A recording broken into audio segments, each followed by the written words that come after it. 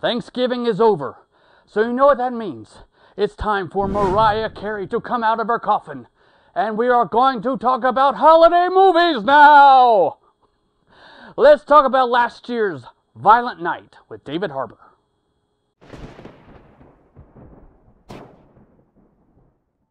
Ooh, all that Mariah Carey talk just kind of freaked me out a little bit. Let's talk about the holiday movie Violent Night. Now, when this movie came out last year, I was like, I didn't want to go see it because it, by the time I had a chance, it was after Christmas, and I just didn't want to. But I watched it the other day, and oh my god, this movie was so much fun. it was a cross between, I would say, really three movies Home Alone, Die Hard, and The Christmas Chronicles, if you've seen those movies on Netflix. I did not think I was going to like this movie near as much as I did. This movie was a lot of fun, and it was with David Harbour, who you know through uh, Stranger Things and uh, uh, multiple other things. But David Harbour did a great job as Santa, and let's just say they went with a totally different way of combining Santa with lore, where he was basically like a Viking warrior that had gotten chosen to be Santa.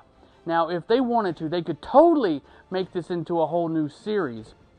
After watching this, I would love to see more of this. I would love to see how he became actually Santa and how there's a Mrs. Claus. And oh my gosh, this was just so much fun.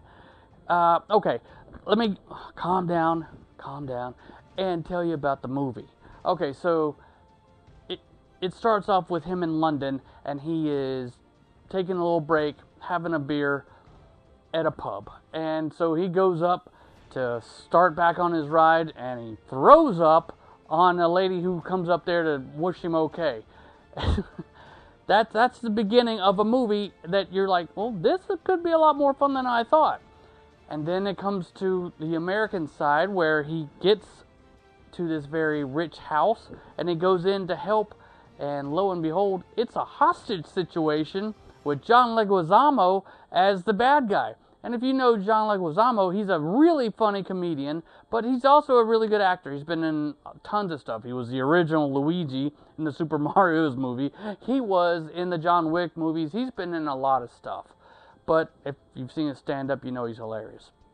Not hilarious in this movie. In fact, very he tries to be very intimidating and he does a pretty decent job at it. All the code names for all of his workers slash assassins, they're all Christmas based, and it is very refreshing to see something like this for a Christmas movie. And it's I know it's, it's silly. We just had that Thanksgiving movie I was talking about, but this this was a lot more fun than the Thanksgiving movie, and I really thought that Thanksgiving movie was a lot of fun.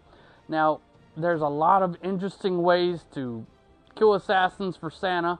And when I say it's like Die Hard, you have this little girl who's on the walkie talkie with him trying to help him out. And you have her who is who's really trying to imitate Macaulay Culkin from Home Alone and set booby traps. And she doesn't intend to have a lot of things happen that happen. And it's pretty awesome. To get back to it, Santa has to stop these bad guys from taking a hundred millions of dollars and killing these these rich people. And you know, someone who's actually in this movie that is associated with another very famous Christmas movie is Beverly D'Angelo, and you know her from the vacation movies where she's with Clark W. Griswold from Christmas Vacation. I might do that one later on, the uh, down the road to talk about because Christmas classic. Now, this movie uh, has them not really believing in Santa because, honestly, no one believes in Santa, and he doesn't really believe in the kids anymore until the end of this movie. I'm not saying he makes it out, but it's Santa.